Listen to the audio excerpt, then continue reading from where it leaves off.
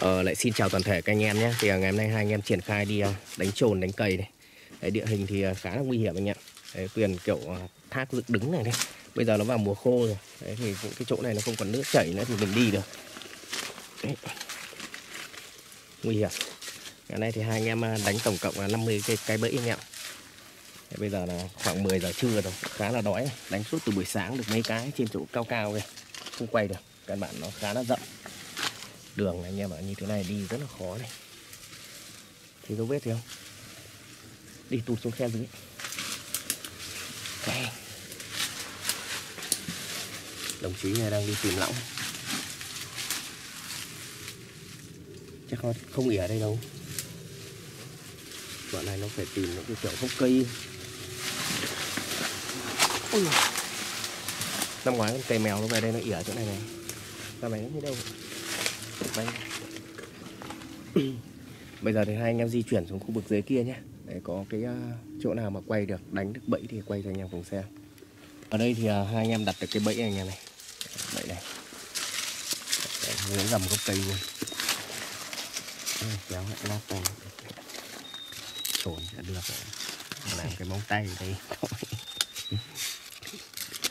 Năm nay đánh ở khu vực ờ, cảm giác xương sẩu Ít lỏng lắm.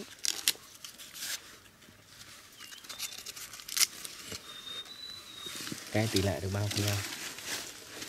Cái này gần cái đốc phải đặt một. Những cái trên kia đánh có thấy cái nào đẹp không? Khả quan thôi đi chả thấy có dấu vết.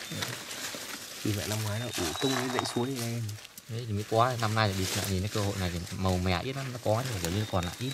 Ừ. mà còn nó chưa kiểu chưa hết nước nó chưa thu xuống. Chả phải đi tầm này đã thu rồi năm ngoái tháng 12 mòn đây đánh hết tháng riêng đây được mấy chục con bạc má vẫn xuống là nhưng mà đánh đây được nhiều gà rừng ấy. nó đi xuống đánh là rừng. Đánh kiểu gì? Hả? Đánh kiểu gì? Có làm mồi. Ui chứ đi chứ bọn nó vẫn không không còn ai chỉ có săn đâu. Ok.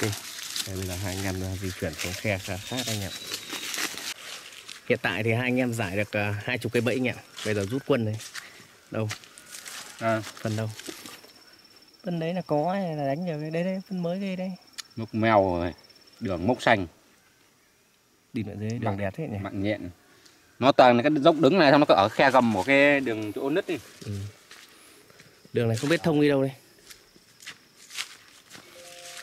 Thì bạn đói lắm này. Một giờ leo nữa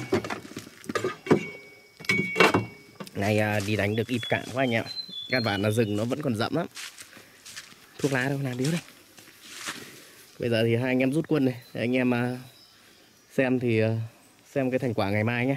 Còn là ngày hôm nay thì à, đi đánh nhé. Quay cho anh em một cái buổi đi đánh cạn thôi.